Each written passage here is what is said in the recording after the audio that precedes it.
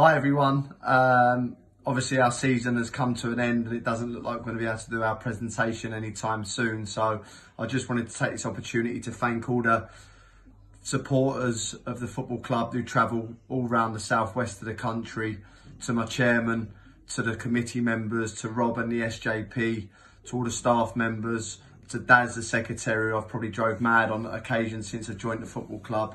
I'd like to thank you all for welcoming me, my family, my management team, and all the players to the football club.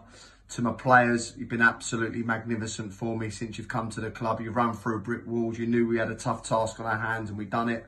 And I'd just like to thank you all for doing that. Hopefully, we'll get to work together again next season with a few additions. We can really kick on and have a really exciting campaign next year in what again is going to be a really tough league. But we've got a good side there, and hopefully we can kick on. Obviously, it's really testing times at the moment, so please follow the guidelines. Please keep yourself, your families, your loved ones safe. You're not alone in this. If you do are struggling, we are here. We are available to talk.